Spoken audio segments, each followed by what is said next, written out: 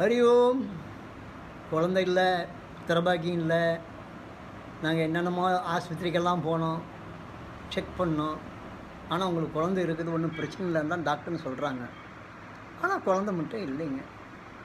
உத்தரபாக்கியம் இல்லாமல் அது அக்கம் பக்கத்தில் இருக்கவங்கிட்ட மனசு கஷ்டமாக இருக்குது வேதனையாக இருக்குது அப்படின்னு வாழ்ந்துக்கிட்டு இருக்கு. முக்கியமான நிகழ்வுகள் கூட போக மாட்டார்கள்.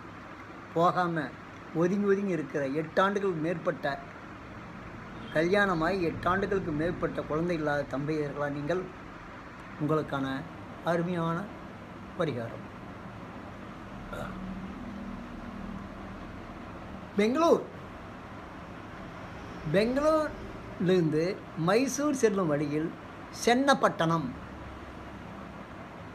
த்துக்கு அருகில் தொட்டமலூர். நல்லா கணிச்சிக்கோங்க தொட்டமலூர். ஒரு கோயில் இருக்குது அங்கு சென்று கண்ணனை தரிசனம் செய்யுங்கள் அங்குள்ள கண்ணன் குழந்தையாக தவழும் நிலையில் இருப்பார். அவரை தரிசனம் செய்துவிட்டு அங்குள்ள அர்ச்சகரிடம் தங்களுடைய பிரச்சனையை கூறுங்கள். அவர் அதற்கு தகுந்த சில அர்ச்சனைகள்லாம் செய்ய சொல்லுவார். அதை செய்யுங்கள். செய்துவிட்டு வாருங்கள். அவர் சொல்லும்படி அங்குள்ள நவநீத கிருஷ்ணன் அந்த கிருஷ்ணனுடைய பெயர் நவநீத கிருஷ்ணன் அவரை வணங்கி பூஜிக்கவும்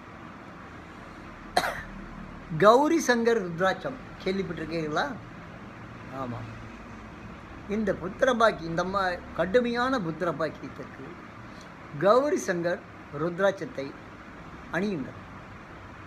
கணவன் மனைவி இருவருமே அணிந்து கொள்ளலாம்.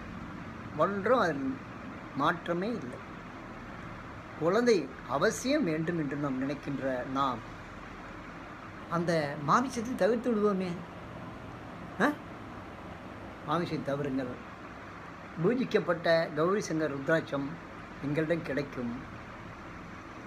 விரைவில் உங்களுக்கு குழந்தை பாக்கியம் உண்டாக இறைவனை வணங்குகிறேன். ஹரி ஓம்.